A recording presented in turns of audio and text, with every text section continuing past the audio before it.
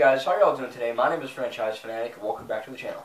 And today I for you guys is a bit of something different. Uh, I'm essentially just going to be telling you guys that I got a new editing software, so I was using GoPlay, and now I'm using Filmora 9.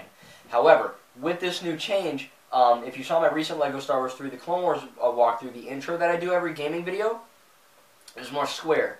And uh, I didn't like that, and the gameplay itself was a little bit different too. So I'm still working out the kinks with Filmora, um, so this is just me telling you um, asking of you to please be forgiving and uh, patient while I go figure out some kinks. Um, I'm still going to try my best to do a gaming video today as the, the same day of this being uploaded.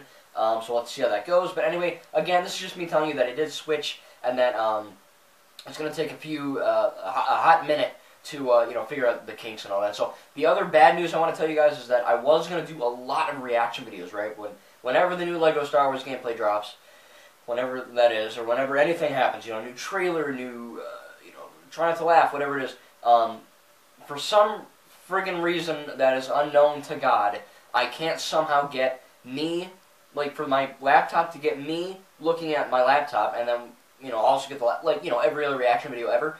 Uh, that was apparently only on GoPlay. GoPlay was amazing, but it, it messed up, and apparently their security got debunked or whatever, and now it's saying, oh, there's someone trying to hack you. And I don't think someone's trying to hack me for 48 consecutive hours straight because I don't, you know, I just have YouTube videos. Who the hell would want that? Anyway, I'm just saying that, um, again, please be patient while I try to figure out some of these kinks. Um, it's, it's, a, it's a very long and frustrating process. So I'm going to try my best to get the gaming videos out as soon as I can. I keep I keep pinching myself, man, because I'm like every single friggin' week or so, it seems like something went wrong with me. I, technology does not like me, let me tell you. Anyway, guys, please be patient, and uh, I will be getting the content out soon. It's still coming.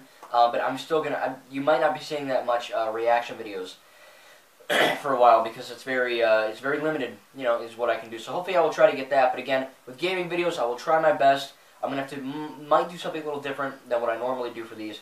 Um, but still, it's gonna be out there soon. So thank you guys, and uh, again, thank you for be uh, being patient. I don't want to have to say this, but I do because of the Switch. So just give me a few days to figure some stuff out, and it'll be pumping out soon. I still have one more tribute. I have, uh, oh geez, some more gaming videos, and I have more unboxings, and, uh, you know, discussion videos and whatnot. So anyway, um, please keep subscribed. If you're not subscribed, if you see this video by any chance, please subscribe and hit the bell icon as it does notify you whenever I go live, so you don't miss, miss a future video. Anyway, guys, again, thank you for being patient, thank you guys, and we'll see you in the next video.